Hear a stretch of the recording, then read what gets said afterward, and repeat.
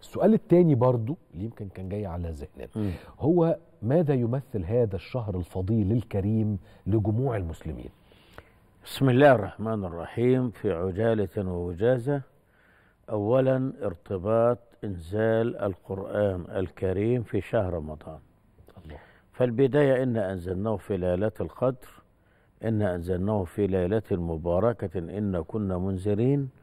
شهر رمضان الذي أنزل فيه القرآن هدى للناس.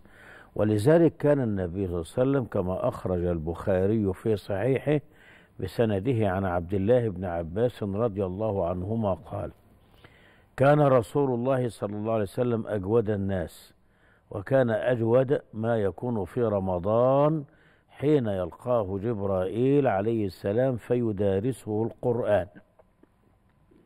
يبقى جلسات المدارسة يعني المراجعة لما تم إنزاله والعام الذي توفي فيه النبي صلى الله عليه وسلم كانت المدارسة عشرين يوم يعني كل سنة كانت عشرة أيام اللي هي العشر الأواخر. وده أعلى درجات التوثيق يعني بين سيدنا النبي صلى الله عليه وسلم وسيدنا جبريل عليه السلام. آه يمثل شهر رمضان شيئا آه وده عتاب محبين يا أستاذ يوسف. الشعوب تتعارف وده عرف صحيح آه بأعياد وطنية وقومية وأعياد آه لقادة لرؤساء لحكام لموهوبين لكن في شيء إحنا غفلنا عنه إن لما أنزل اقرأ باسم ربك الذي خلق في ليلة القدر الأولى التي اختص بها النبي صلى الله عليه وسلم كان بدء الإذن بالرسالة وبالنبوة للنبي محمد صلى الله عليه وسلم. يبقى يعني ال ال ال النبوة والرسالة من جهة الإذن لأن النبي طبعا نبي من قديم الزمن يعني. ولكن منذ اقرأ يبقى جاء الإذن بالنبوة وبالرسالة لهذا النبي الذي جاء ليكرم الإنسان كإنسان وجاء ليحمل الأمن والأمان والسلم والسلام. الأمر الثالث إن فيه جملة عبادات بدنية ومالية معا. طبعا العبادات البدنية التي يختص بها شهر رمضان صلاة القيام أو التراويح. ونحيي الشعب الفلسطيني المرابط أنه أدى الشعائر عبودية لله برغم ما يكابده على أنقاض منازلهم. وهذا كله مؤشر على أن نصر الله آت.